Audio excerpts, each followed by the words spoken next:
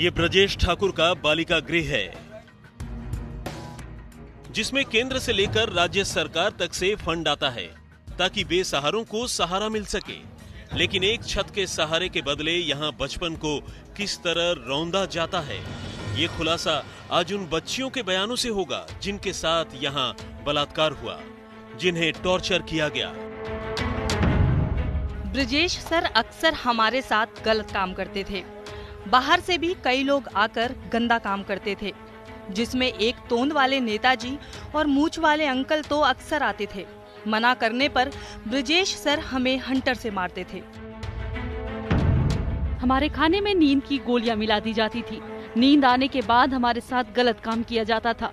इस बात की जानकारी वहाँ के सभी स्टाफ को थी, मगर कोई कुछ नहीं बोलता था। सभी मिले हुए थे। जब हम सोकर उठते थे तो हमारे बदन में बहुत दर्द होता था।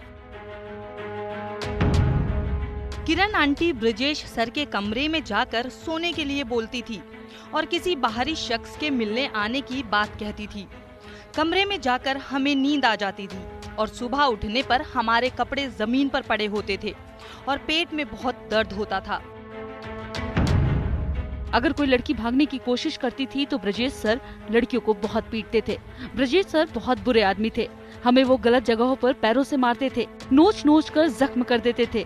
एक लड़की के तो पेट में बच्चा था तो ब्रजेश सर ने उसके पेट के नीचे मारा। पता नहीं, शायद बच्चा मर गया होगा। ब्रजेश के इन काले कारनामों को अंजाम देने में यूँ तो उसका तमाम स्टाफ साथ देता था।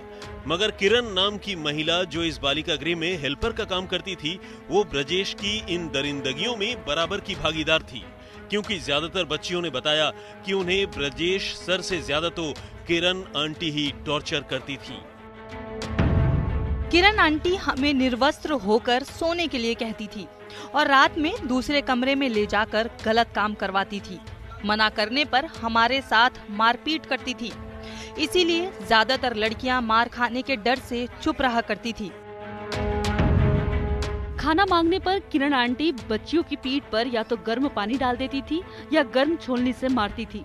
गलत जगहों पर मारती और गालियाँ देने लगती थी। किरण आंटी सिर्फ़ हमसे ही गंदा काम नहीं करवाती थी, बल्कि खुद भी करती थी। किरण आंटी अक्सर हमें गलत तरीके से छुआ करती थी।